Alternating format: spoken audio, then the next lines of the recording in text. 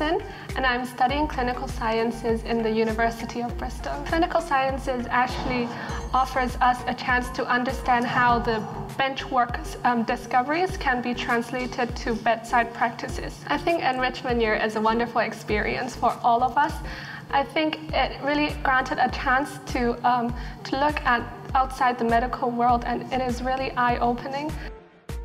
My research project is done in the Musculoskeletal Research Unit in Bristol, which is about progression of osteoarthritis. And I have the opportunity to do a research project on my own, and that would be very useful when like after a couple of years when I become a doctor because there are lots of knowledge coming in every day and as a doctor we have to keep ourselves abreast of new information so as to provide the best care for our patients. Bristol is fun. There is uh, many rock climbing sites or many cycling trails around the city and the vibe is great.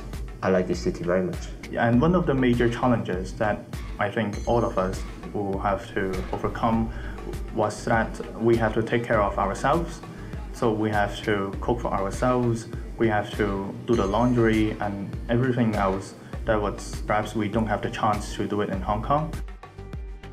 In my enrichment year, I had the opportunity to come here to do human sciences, which uses an interdisciplinary approach to look into diseases or people through a biological, social, and a cultural perspective. And that really gave me um, a broadening um, perspective in terms of seeing and uh, seeing what diseases are and in healthcare in general. Well, it's very good that Haley, as a medical student, um, has come here. Um, and has, if you like, spotted um, courses relating to population and human sciences. Because a human sciences degree at Oxford is something which, in which students combine um, studying genetics or ecology or evolutionary um, anthropology or social anthropology with population.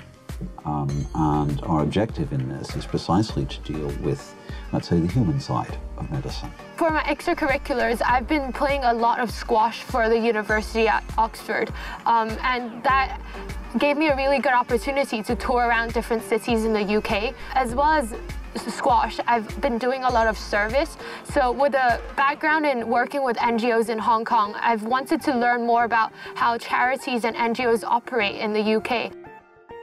Hi, I'm Victor Yik. In my enrichment year, I study in the Barts and the London School of Medicine and Dentistry, and I study global health. In the clinical attachment in pediatric neurology, I have seen patients with rare genetic diseases like Angelman syndrome, as well as epilepsy patients. Although the prognosis in some cases can be very disheartening, seeing a smile from a child witnessing the love between parents and kids are truly heartwarming. Unlike my fellow classmates in Bristol and Glasgow, me and Edmund are the only two integrating students here in Queen Mary. As the Chinese old saying goes, 在家靠父母，出外靠朋友. I see this as an opportunity to make friends with other British and also international students students. I've met people from all parts of the world, and I think it's very beneficial for me to become a global citizen. Enrichment Year has helped me find my passion in medical studies, and I'm more ready to face the upcoming challenges in my future studies.